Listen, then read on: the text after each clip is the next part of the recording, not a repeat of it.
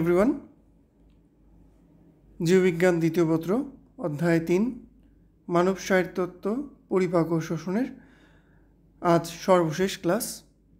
ক্লাসে আছি আমি AG sir, lecturer, department of biology, saint Gregory's high school and college.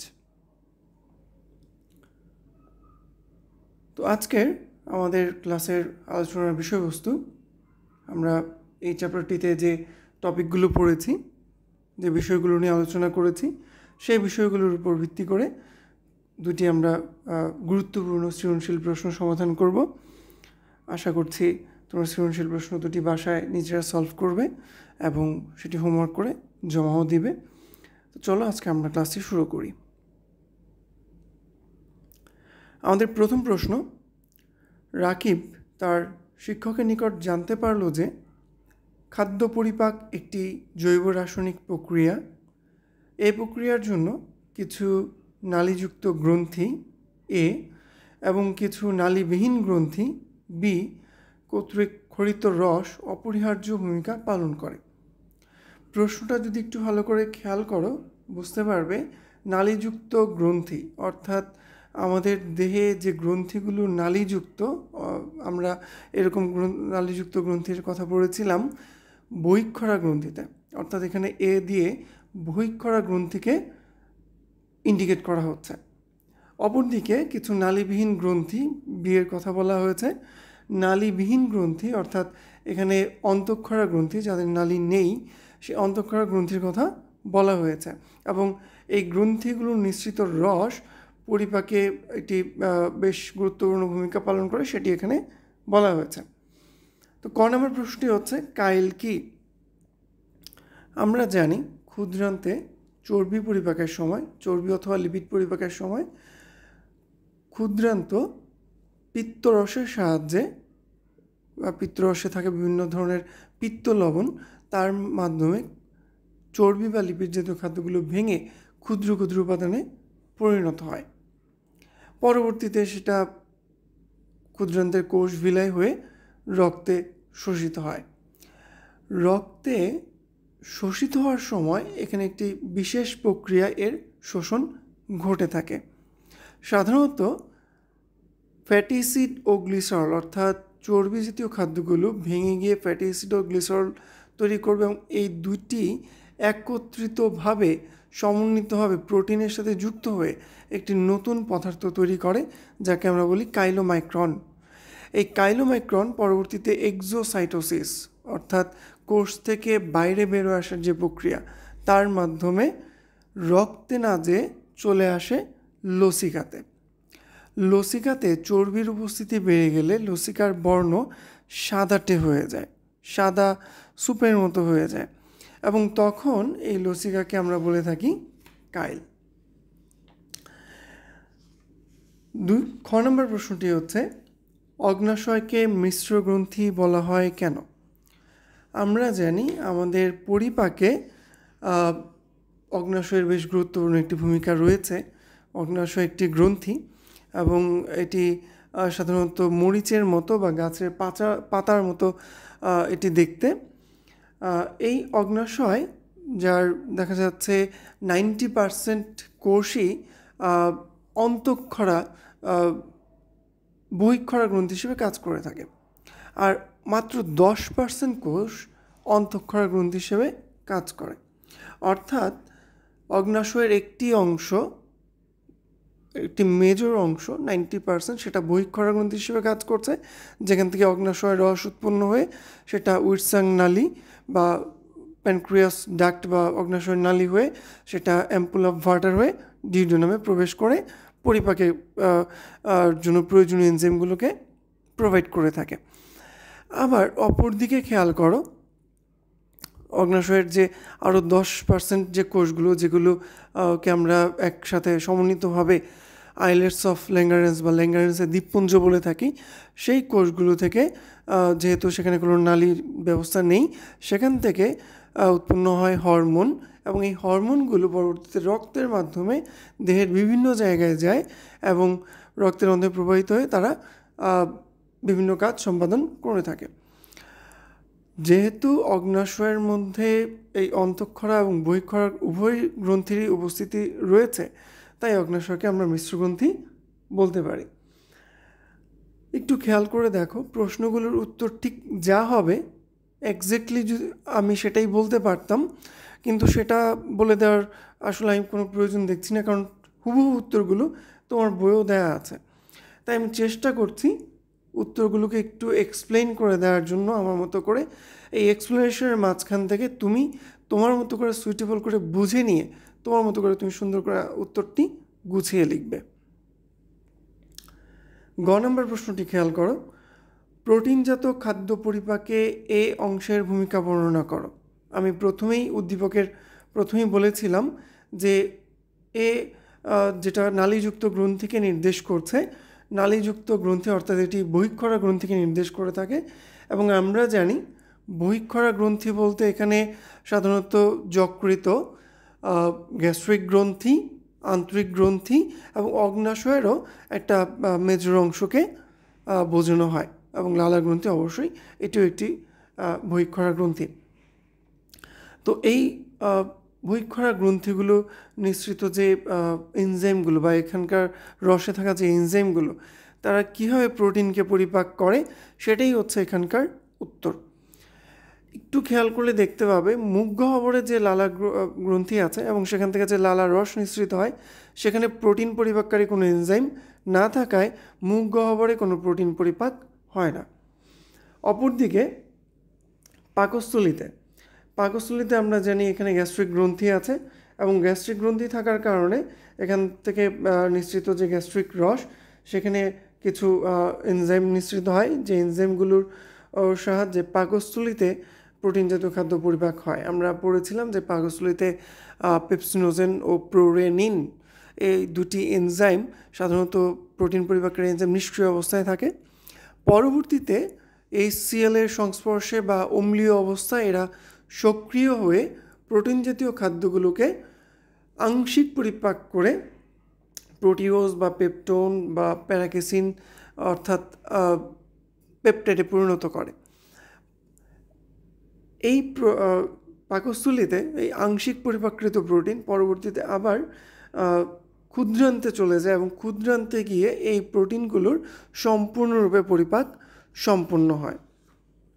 আমরা জানি ক্ষুদ্রান্তে অগ্নাশয় রস ক্ষুদ্রান্তে আসে যকৃত থেকে যকৃত রস আসে আন্তরিক গ্রন্থি থেকে আন্তরিক রস আসে। কিন্তু মনে রাখতে হবে যকৃত রস অর্থাৎ যেটা পিত্তরস হিসেবে বলছি আমরা, এখানে কোনো পরিপাককারী এনজাইম থাকে না। অর্থাৎ প্রোটিন পরিপাকের জন্য এখানে অগ্নাশয় রস ও আন্তরিক রসেরই ভূমিকা থাকবে। দেখা যায় অগ্নাশয় রসে trypsin, chymotrypsin dipeptidase tripeptidase collagenase এই এনজেমগুলোর সাহায্যেই সাধারণত প্রোটিন পরিপাক হয়ে সরল অ্যামাইনো অ্যাসিডে পরিণত হয়ে থাকে। এবং আন্তরিক রসে থাকা পলিপেপটাইডের সাহায্যে দেখা যাচ্ছে প্রোটিনগুলো এখানে অ্যামিনো অ্যাসিডে পরিণত হয়। অর্থাৎ প্রোটিন জাতীয় খাদ্যগুলোর পরিপাকের জন্য যে বহিক্ষরা গ্রন্থির যে ভূমিকা সেখানে আমরা শুধুমাত্র পাকস্থলীতে যে প্রোটিন পরিপাক হয় এবং ক্ষুদ্রান্তে যে প্রোটিন পরিপাক হয়, সেই জিনিস দুটোই আমরা এখানে ব্যাখ্যা করব। আশা করছি তোমরা তোমাদের প্রশ্নটার উত্তর ভালোভাবে বুঝতে পেরেছ। ঘ নম্বর প্রশ্নটি দেখো কি আছে। উদ্দীপকের বি অংশের রস খরিত না হলে পরিপাক সম্ভব নয়। বি অংশ অর্থাৎ এখানে নালীবিহীন গ্রন্থি অর্থাৎ এখানে অন্তঃক্ষরা গ্রন্থির কথা বলা হচ্ছে এবং অন্তঃক্ষরা গ্রন্থি নিঃসৃত যে রস, তাকে আমরা হরমোন নামে জানি। এই হরমোন যদি খরিত না হয়, তাহলে পরিপাক সম্ভব নয়। এটাই তোমাকে এখানে ব্যাখ্যা করতে হবে। আমি প্রিভিয়াস একটি ক্লাসে পরিপাকে হরমোনের ভূমিকা নিয়ে আলোচনা করেছিলাম। সেখানে পরিপাকের জন্য যে প্রয়োজনীয় হরমোন যেগুলো গ্যাস্ট্রিন সিক্রেটিন কোলেস্টোকাইনিন বা অ্যান্টেরোকাইনিন অ্যান্টেরোগ্যাস্ট্রিন পেপটাইড বা প্যানক্রিয়াটিক পলিপেপটাইড ভিলিকাইনিন এই যে হরমোনগুলো আছে, এই হরমোনগুলো আমি তাদের ভূমিকা সহ ব্যাখ্যা করে দিয়েছিলাম। যদি তোমরা ক্লাসটি না দেখে থাকো, অবশ্যই ক্লাসটি আবার দেখে নিবে। সেখানে এই প্রশ্নটি কীভাবে আনসার করতে হবে বা এই প্রশ্নটির ব্যাখ্যা আমি সম্পূর্ণরূপে দিয়ে দিয়েছি। তবু তোমাদের প্রয়োজনের তোমাদের সুবিধার্থে আমি ক্লাসটির লিঙ্ক ওপরে দিয়ে দিচ্ছি। তোমরা চাইলে উপরের লিঙ্কে গিয়ে ক্লাসটি দেখে নিতে পারো। আমরা পরবর্তী প্রশ্নে চলে যাচ্ছি। পরবর্তী প্রশ্নটি হচ্ছে, রেজা মাংসের গামলায় একটি বিশেষ টুকরো দেখিয়ে বলল, আমাদের দেহে এমন একটি অঙ্গ আছে, যা দেহে সবচেয়ে বড় গ্রন্থি। এছাড়াও আমাদের দেহে গাছের পাতার মতো আরও একটি গ্রন্থি আছে। সর্বপ্রথম উদ্দীপকটি আমরা একটু ভালো করে খেয়াল করি। তো রেজা মাংসের গামলে একটি বিশেষ টুকরো দেখিয়ে বলছে যে সেখানে অবশ্যই সে একটি মাংসের কথাই, টুকরোর কথাই উল্লেখ করছে যে টুকরোটি হয়তো আমাদের দেহের কোনো অংশের বা আমাদের দেহের কোনো অঙ্গের সাথে সাদৃশ্যযুক্ত। তো আমাদের দেহ এমন একটি অঙ্গ আছে যা দেহের সবচেয়ে বড় গ্রন্থি। আমরা জানি আমাদের দেহের সবচেয়ে বড় গ্রন্থিটির নাম যকৃত। এবং যকৃত আমাদের দেহের দ্বিতীয় বৃহত্তম অঙ্গ। তো এখানে অবশ্যই রেজা যকৃতর কথা বলার চেষ্টা করছিল। এবং এখানে যে গাছের পাতার মতো আরেকটি গ্রন্থির কথা বলা আছে, গাছের পাতার মতো বা মরিচের মতো দেখতে যে গ্রন্থির কথা বলা হোক না কেন, এখানে অবশ্যই আমরা সেটা অগ্নাশয়কেই বুঝব। তাহলে এখানে যকৃত এবং পরবর্তীতে অগ্নাশয়ের কথা বলা হয়েছে। তো ক নম্বর প্রশ্নটি বলা হয়েছে, স্থূলতা কি?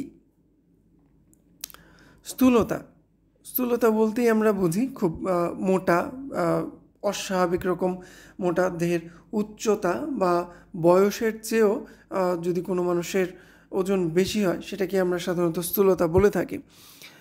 তো সাধারণত একজন মানুষের দেহের ওজনের যদি টোয়েন্টি পার্সেন্টেরও বেশি তার দেহে চর্বি বা মেদ সঞ্চিত হয়, জমা হয়, তাহলে সেটাকে আমরা স্থূলতা বলে থাকি। এবং এই স্থূলতা মাপার জন্য আমরা সাধারণত বিএমআই বা বডি মাস ইন্ডেক্স নামক একটা সূচক ব্যবহার করে থাকি যেখানে সাধারণত দেহের ওজনকে, কোনো ব্যক্তির দেহের ওজনকে তার উচ্চতার বর্গ দিয়ে ভাগ করে তার বিএমআই বের করা সম্ভব হয়। যদি কোনো ব্যক্তির বিএমআই টোয়েন্টি ফাইভের কম হয়, তাহলে বুঝতে হবে সেটা তার স্বাভাবিক ওজন। বা টোয়েন্টি ফাইভের উপরে যতই উপরে যেতে থাকবে, সেটাকে আমরা ততই অধিক স্থূলকায় হিসেবে গণ্য করব। পরবর্তী প্রশ্ন পেরিস্টালসিস বলতে কি বোঝায়?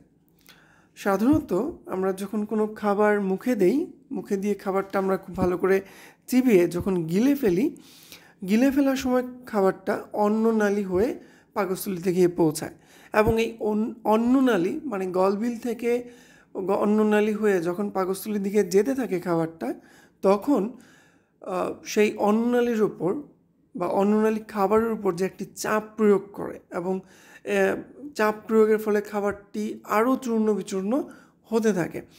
এই অন্ননালী দ্বারা খাবারের উপর প্রয়োগকৃত চাপ বা এই যে যত নিচের দিকে যেতে থাকবে, তত খাবারটি আরও চাপের কারণে নিচের দিকে যেতে থাকবে এবং আমাদের অন্ননালীটি সংকুচিত এবং প্রসারিত হবে। এই অন্ননালীটির এই সংকোচন ও প্রসারণকেই সাধারণত আমরা পেরিস্টালসিস বলে থাকে।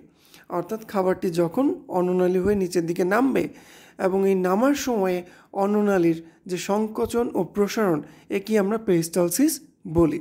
এটি যান্ত্রিক পরিপাকের একটি অন্যতম অংশ। গ নম্বর প্রশ্নটি হচ্ছে উদ্দীপকে উল্লিখিত সবচেয়ে বড় গ্রন্থির কাজ লিখো।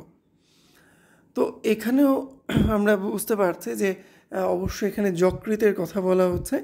যকৃতের কাজ, কাজের কথা এখানে ব্যাখ্যা করা, ব্যাখ্যা যাচ্ছে।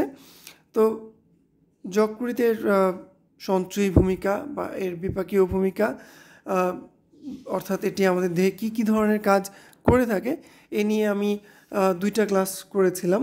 তোমাদের হয়তো মনেও আছে, এই দুটি ক্লাস তোমরা একটু কষ্ট করে আবার দেখে নিবে। কারণ আমি যদি এখানে এই যকৃতের কাজটা ব্যাখ্যা করতে যাই, বুঝতেই পারছ, যকৃত নিয়ে দুইটা ক্লাস করতে হয়েছে আমাকে। আমি যদি আজকে এই একটা ক্লাসে যকৃতের কাজ ব্যাখ্যা করতে যাই, ভিডিওটা অনেক বড় হয়ে যাবে, সেক্ষেত্রে তোমরা ক্লাস করার যে আগ্রহ, সেটা হয়তো আর পাবে না। তাই ওই ক্লাস দুটার লিঙ্কও আমি এখানে দিয়ে দিচ্ছি, তোমরা সেই ক্লাস দুটো ওখানে গিয়ে তোমাদের প্রয়োজন মতো সময় দেখে নেবে। পরবর্তী প্রশ্ন রক্তে গ্লুকোজের মাত্রা নিয়ন্ত্রণে পাতার মতো গ্রন্থিটির ভূমিকা লিখো। রক্তে গ্লুকোজের মাত্রা। খেয়াল করো পাতার মতো গ্রন্থিটি বলতে এখানে অগ্নাশয়কে বলা হয়েছে এবং আমরা জানি অগ্নাশয় একটি মিশ্র গ্রন্থি। অর্থাৎ এখানে অন্তঃক্ষরা গ্রন্থি ও বহিক্ষরা গ্রন্থি দুই ধরনের গ্রন্থিরই উপস্থিতি রয়েছে। অন্তঃক্ষরা গ্রন্থি যেখান থেকে হরমোন নিঃসৃত হয়, আমরা জানি সেখানে সাধারণত চার ধরনের কোষ নিয়ে অন্তঃক্ষরা অগ্নাশয়ের অন্তঃক্ষরা গ্রন্থি গঠিত। চার ধরনের কোষ কী কী? আলফা কোষ, বিটা কোষ, ডেল্টা কোষ ও পিপি কোষ। তো এখানে আমরা জানি আলফা কোষ থেকে গ্লুকাগন নামক হরমোন খরিত হয় ও বিটা কোষ থেকে ইনসুলিন নামক হরমোন খরিত হয়।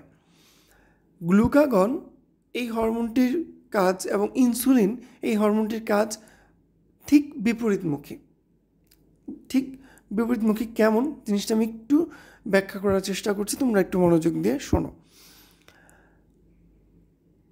আমাদের দেহে আমরা যে আমাদের দেহে যে রক্ত আছে সে রক্তে গ্লুকোজের একটা নির্দিষ্ট মাত্রা আছে। এর চেয়ে অতিরিক্ত মাত্রার গ্লুকোজ যখন আমার রক্তে চলে আসবে, অর্থাৎ আমি যখন প্রয়োজনের অতিরিক্ত কার্বোহাইড্রেট জাতীয় খাবার খাব, তখন এই প্রয়োজনের অতিরিক্ত কার্বোহাইড্রেট ভেঙে গিয়ে প্রয়োজনের অতিরিক্ত গ্লুকোজই কিন্তু তৈরি করবে, যা রক্তে চলে যাবে। রক্ত এই অতিরিক্ত গ্লুকোজকে কি করবে? ইনসুলিন নামক যে হরমোনটি আছে, সেটি রক্তের এই অতিরিক্ত গ্লুকোজকে নিয়ে একটা পলিমার গঠন করবে, যাকে আমরা বলি গ্লাইকোজেন। অর্থাৎ অর্থাৎ গ্লুকোজের পলিমার গ্লাইকোজেন তৈরি করবে। এবং এই গ্লাইকোজেনকে ইনসুলিন যকৃতে জমা রাখবে। আবার তোমার শরীরে যদি কোনো কারণে তুমি হয়তো দুই দিন, তিন দিন না খেয়ে আছো বা দীর্ঘ সময় না খেয়ে আছো বা খুব পরিশ্রমের কোনো কাজ করছ, তখন তোমার কিন্তু রক্তে গ্লুকোজের চাহিদা বেড়ে যেতে পারে বা রক্তে গ্লুকোজের পরিমাণ কমে যেতে পারে। ব্যাপারটা একই রকম। তো তৎক্ষণাৎভাবে তোমার রক্তের গ্লুকোজের মাত্রাকে ঠিক করার জন্য গ্লুকাগন হরমোন কী করবে? এই গ্লুকাগন হরমোন যকৃতে সঞ্চিত গ্লাইকোজেনকে এনে সেটাকে বিশ্লিষ্ট করে গ্লুকোজে পরিণত করবে এবং রক্তের গ্লুকোজের মাত্রাকে আবার স্বাভাবিক অবস্থায় নিয়ে আসবে। অর্থাৎ ইনসুলিন এবং গ্লুকাগন দুইটি বিপরীতভাবে কাজ করে রক্তের গ্লুকোজের মাত্রাকে দেহের প্রয়োজন অনুযায়ী একটা সবসময় নির্দিষ্ট অবস্থায় বা একটা নির্দিষ্ট মাত্রা নিয়ন্ত্রণে সাহায্য করে থাকে। তো এইভাবেই অগ্নাশয় আমাদের দেহে রক্তের গ্লুকোজের মাত্রাকে নিয়ন্ত্রণ করে থাকে তো আজকে যে দুটি সৃজনশীল প্রশ্ন আলোচনা করলাম, এই দুটি সৃজনশীল প্রশ্ন তোমাদের আসন্ন প্রিটেস্ট পরীক্ষার জন্য সমানভাবে গুরুত্বপূর্ণ।